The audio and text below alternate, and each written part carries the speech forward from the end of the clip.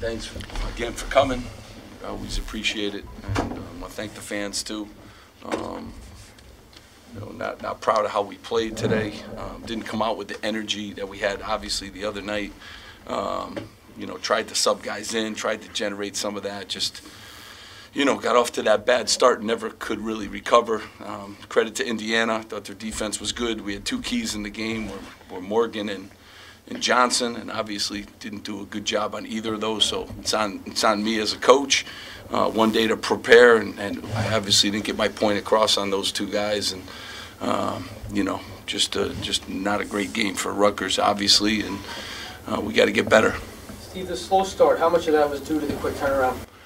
I mean, you know, I'd like to tell you the answer for that. I, I don't, I don't know. I mean, we just didn't have that kind of energy that we obviously had against Purdue, and again, that's on me as a coach. And I tried to sub some guys out quickly.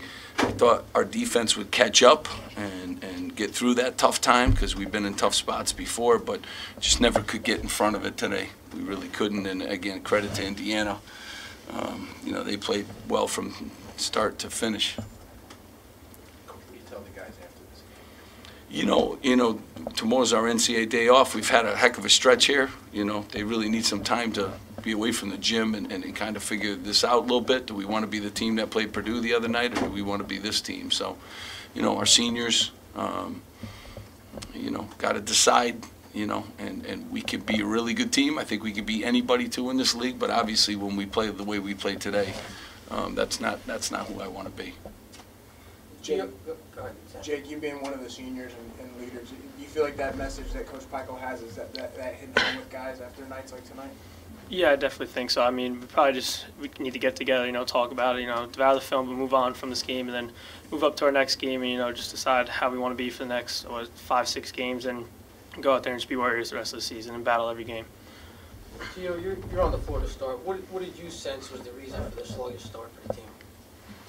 Um, like Coach said, uh, not really sure. Uh, you know, we, we got to come out and battle, and I just think that uh, we didn't do that today. Jim, was there any uh, emotional letdown kind of after the last game? No, no emotional letdown. Uh, you know, we fought hard, and uh, Coach was proud of our efforts, and uh, you know, we came up short in the last game, but that didn't really decide the, what happened in this game.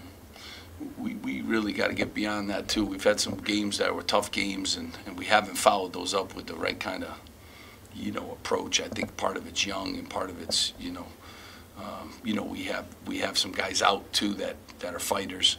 So, uh, you know, we really got to figure that out. We did it last year too with Wisconsin in overtime. Follow that up with the Iowa game. This time we play, you know, I think Purdue's the best team in the country, and then follow that up with a game that you know we're not proud of. So that's on me as a coach. I got to get them ready to play every game. Steve, what did you think of Indiana's three-point shooting? Not something that you Uh, would do me- well. You you know, we've had a couple teams now that don't, don't- don't really do that and, and have had great nights like that, and that's not who they are. But, you know, fairness to them, you know, they had some good looks, and once you make a first few, you know, and the two guys we were most concerned with from three-point land are the two guys that kind of got us, you know, but, uh, um, you know, and then once you get off to a good start like that, I think basket's a lot bigger.